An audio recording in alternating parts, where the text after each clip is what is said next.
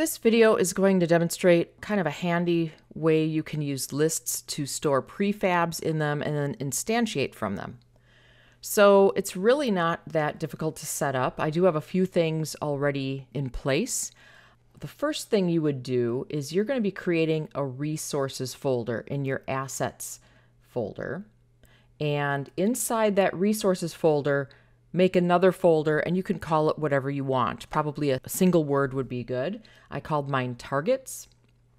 And inside of there, you will put the prefabs that you want to access. Now the names really don't matter. Add as many as you'd like to load. And in fact, I'm going to add one more to this list. So I just have, I'm just using primitives for this demonstration. So I'm going to take this cube and put it in here, and then I can delete it from my hierarchy. And now that I have my prefabs in my targets folder, which is inside my resources folder, then that's pretty much the setup.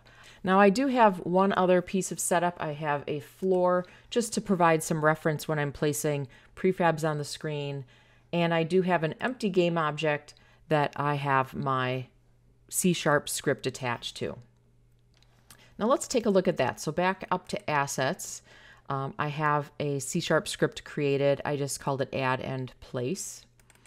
I have nothing really in it yet.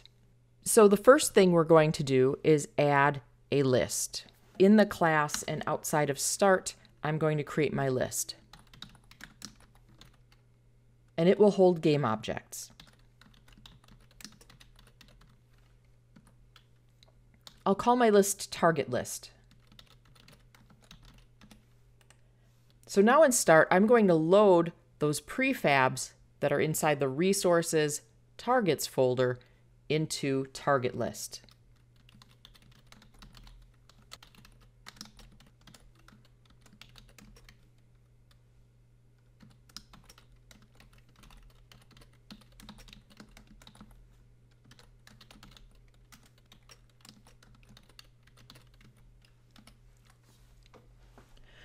So if you see, we're creating a new list. It's of type game object, and it's pulling from the resources folder. It's going to load all of the game objects inside the folder called targets. And that will go into my target list. And at that point, we can just access those prefabs by referring to the index of target list. So I could actually just instantiate one of the objects if I'd like by using the index.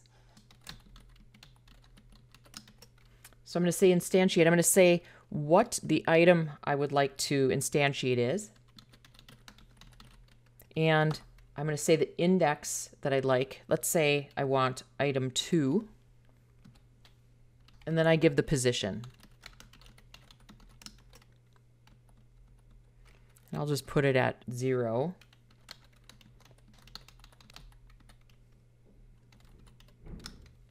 And in this case, when I run it, it will just take the second item in target list and instantiate it at 000. So let's try that out. Okay, so the second item is a sphere. Now, if you want to access more of these, you can do things like um, randomly pick which item you'd like to appear. Could do that by adding a random number.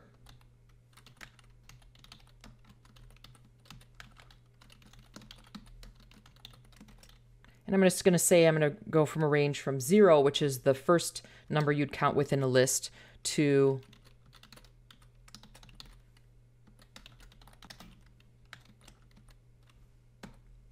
to as many items there are in target list minus 1 since the count starts at 0. So in this case, then instead of 2, I could change that to random prefab. And then every time I start it, it will pick a random prefab from that list and display it. Okay, so this time it's a cylinder.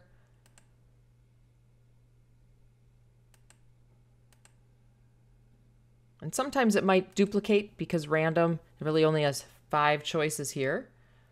But note it is picking a different one. So another thing that you can do, which could be kind of a neat way to use this, is you can loop through to instantiate each object in the list and put them at a different random spot. So I'm going to get rid of this actually to demonstrate that. And I'm going to be using a for loop.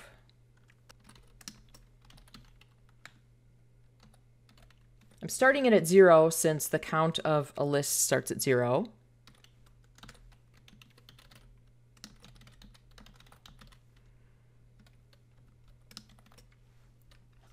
Let me space that out a little bit better.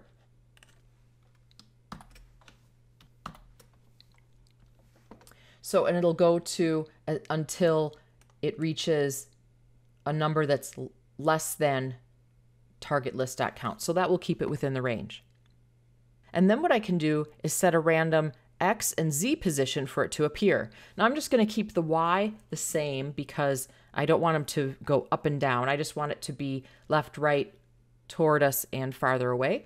So for instance, I can set up an integer that's random X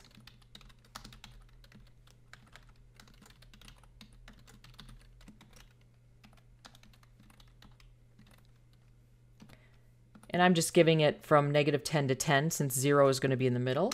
And I can do a random z.